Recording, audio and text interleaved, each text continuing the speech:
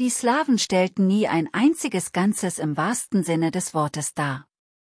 Sie hatten, wie jede ethnische Gruppe, schon immer kulturelle, sprachliche und territoriale Unterschiede. Diese anfänglichen Unterschiede waren lange Zeit unbedeutend, verstärkten sich dann aber durch Umsiedlungen und Kreuzungen mit anderen ethnischen Gruppen. Nach den ersten Umsiedlungsimpulsen zerfiel die slawische Einheitsgemeinschaft in eine Reihe neuer Formationen, die in den folgenden Jahrhunderten schließlich Gestalt annahmen. Es ist seit langem kein Geheimnis mehr, dass die heutigen westlichen, nordwestlichen Gebiete des heutigen Polens und die östlichen Gebiete des heutigen Deutschland ehemalige slawische Gebiete sind.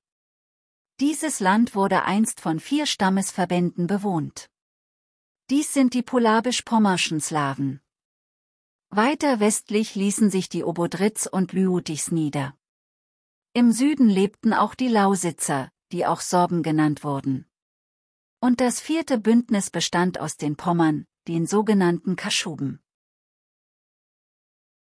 Etwa 500 Jahre lang waren diese Stammesverbände einer Ausweitung ausgesetzt, sowohl durch die Deutschen einerseits als auch durch die Polen andererseits. Der Vorteil lag mal auf der einen, dann auf der anderen Seite. In regelmäßigen Abständen strömten Wellen fliehender Vertreter dieser Gewerkschaften in das heutige Gebiet der Weißen Rus und in die Region Pskonowgorod.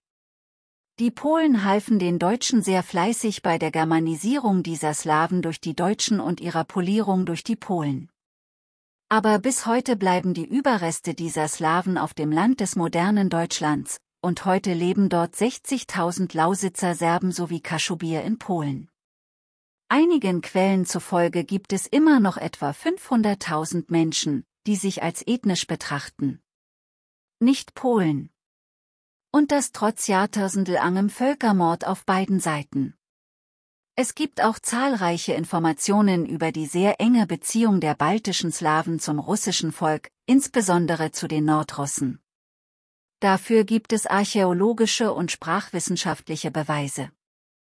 Einwanderer aus den südlichen baltischen und Polabisschen-Ländern gründeten Städte in der neuen Rus, um der Verfolgung durch die Deutschen und Polen aus dem Gebiet der alten Rus zu entgehen. Die Tatsache, dass eine bedeutende Migration von Polabskaja und pommerschen Rus nach Rus im Osten stattfand, wird auch durch die Namen der Städte belegt, die bis heute erhalten sind. Einwanderer aus Leipzig gründeten das heutige Lipetsk, das in Zentralrussland liegt. Unter den Obodriten gab es eine solche Stadt, Starograd, das heutige Oldenburg. In der Neuen Rus gründeten Menschen aus dieser Stadt das moderne Novgorod, das in der Nähe der Stadt St. Petersburg liegt. Der Vereinigung der Obodriten gehörte der Stamm der Smolensk an, der auch die Stadt Smolensk gründete.